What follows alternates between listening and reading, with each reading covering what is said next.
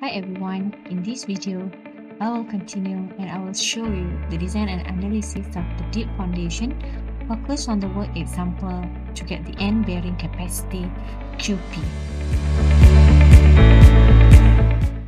So this is an example number one by using the Meyerhof method for estimating the QP.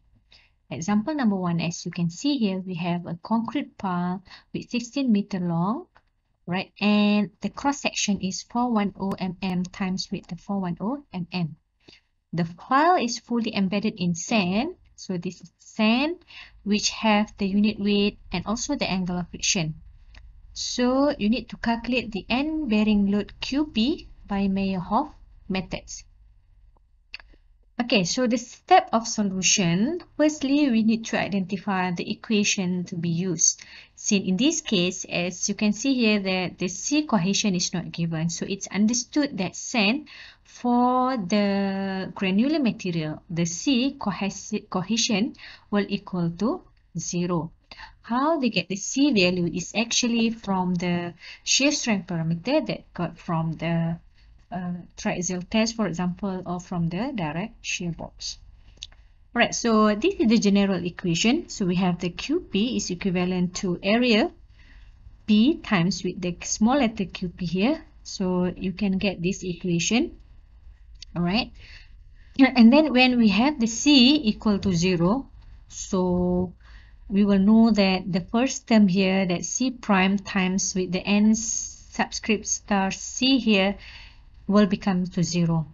So at the end, we only have this term. Okay, so now we need to identify the bearing capacity factor and star subscript Q. Right, to identify this one, we will refer to the angle of friction. So as given in the question, the angle of friction is 30 degree.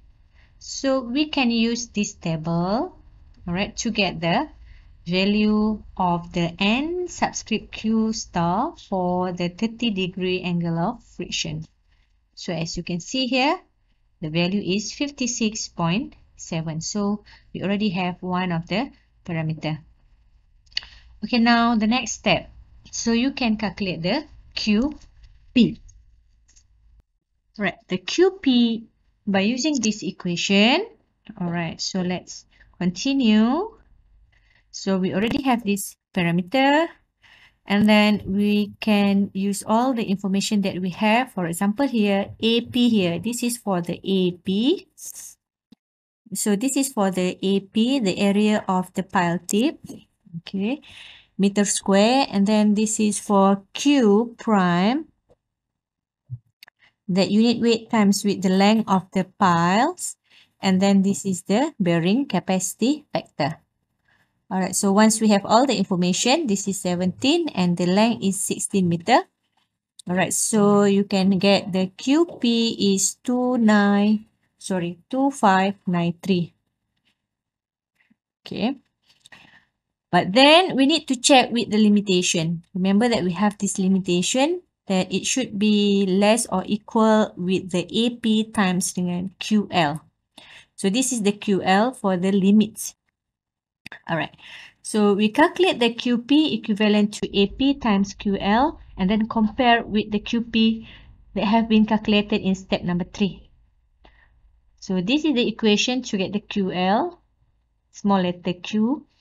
So 0 0.5 PAN Q star tangent angle of friction.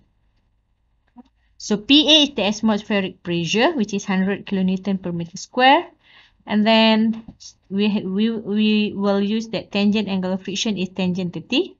So we substitute all the information. As you can see here, this is for the area. This is 0 0.5. This is the PA. This is the bearing capacity factor. And this is for tangent angle of friction. So this is the value for the limitation. So when we compare, okay, at step number 3 with the limitation, so the, the requirement, it should be equal or less. Alright, so final QP should be taken as 275 kilo Newton. Right, so this is example number one. And then now we have example two. So consider a pipe pile. Okay, this is the pipe pile, meaning that meaning that the cross section in a circular form. Alright, so having a an outside diameter is 406 meter. Right, so the diameter is 406 millimeter, and it's embedded in layered saturated clay 30 meter. The length of file pile L is 30 meter. Alright, so also given the details of the unit weight and also the cohesion, undrained cohesion here for different depths from the ground surface. Okay, mention also the groundwater table is located at the depth of 5 meter from the ground surface. So we need to calculate the QP here by using Meyerhof methods. Okay. So identify equation to be used.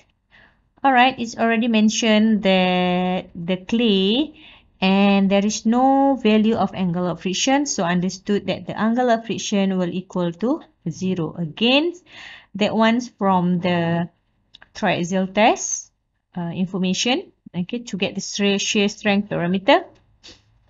And then we will use this equation for the clay soil. And then uh, for the pipe pile here, so the area is circular cross section. So this is the equation pi d square over 4 is the equation used to get the area. Now as you can see here that we have three value of CU or undrained cohesion. So we need to identify which value that we will use. Remember that this QP is at the tip. We have the length of the pile is 30 meter.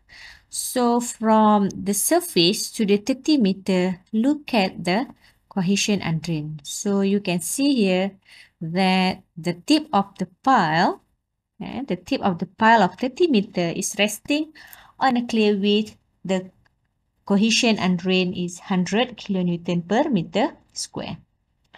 Then once we know the cohesion and undrained, so you can calculate the QP straightforward by substitute all the numbers here. We have the 9, so it's 100 and this is the area of the pipe pile, pi d square over 4.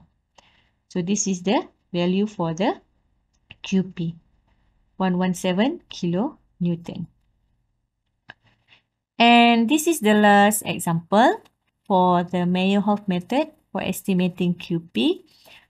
Alright, so now what we have here is consider a concrete pile that has the cross section is 0.305 meter times 0.305 meter in sand and the pile is 15.2 meter long and given is the variations of the n value. Alright, so this is the SPTN value. Alright, so the data from the ground surface is 1.5 meter up to 21 meter below the ground surface. So there are a series of SPTN value. So which n value that we will need to use to get the QP. Alright, so the first step equation to be used is based on the SPT result. So we will use the SPTN value. So we will have this equation. Alright, so we will have this equation. N60 or N value here. Alright. So make sure that we have the limits here. Okay, on the right side is the limit and on the left side is the value to get the QP. To get in a capital letter, don't forget to times with the area. Alright, so how to get the N value? Right, so we need to identify the N value to be used. Again, if you look at here that we need to get the average of the standard penetrations or the N value. Alright, near the pile point, about 10D above and 4D below the pile point. Alright, so now we have the pile length 15.2 meter. Okay, look at the data here. Where is the locations of 15.2 is roughly around here. Okay, Alright, so we have the n here is around 28, 29. So is that enough to use these two value? So what we have, we need to get the average n value about 10d above and 4d below the point. Okay, 10d above, alright, 10d above and 4d below. Okay, so we need to identify first uh, for 10d. So 10d is about 3.05 meter. D is the diameter of the um, pile. Since we have like square cross section, so it will consider as a D, also consider as a D, which is 0 0.305 meter. Okay, so 10D is about 3.05 meter and 4D is about 1.22 meter. Okay, now when we want to know what is the 10 D above the point. So we need to know 10 D above. So that's why we have the length 15.2. We minus with the 10D. So we know that is 12.15. Right? right? So it's roughly starting from here. Okay. Because we have 12 meter with N 17. And then to get 4D below the point, so we have the length of the path 15.2 plus with 1.22, so we have 16.42. Alright, so it's roughly around here. Okay, we have 16.5 here. Right, so 16.4 is including in this area. Alright. So that is 10D above and 4D below, meaning that we have 4 n values that we need to consider to get an average. Okay, now we can get the average. 17, 20 plus 28 and 29. So divide by 4, we round up and then we will have the n average is 24. Okay, so now once we have the n value average, so we can calculate the QP, capital letter Q subscript P by using that equation. So don't forget to times with the area. So this is for the area 0 0.4. This is the PA. This is the N average. And this is the L and D. So you will have 4451 kilonewton and we need to compare with the limits. All right so this is the limit. Okay so to get the qp using the limit equation. So this is for ap this is for 4 this is for pa and this is for n value. Okay so we have 893 kilonewton so compare with the previous one, 4451 with 893. The requirement, it should less than or equal to 890. Means that the QP, it should 893 kilo Newton. That's all for the Meyerhof methods for different uh, work example to estimate the end bearing pile capacity. Thank you.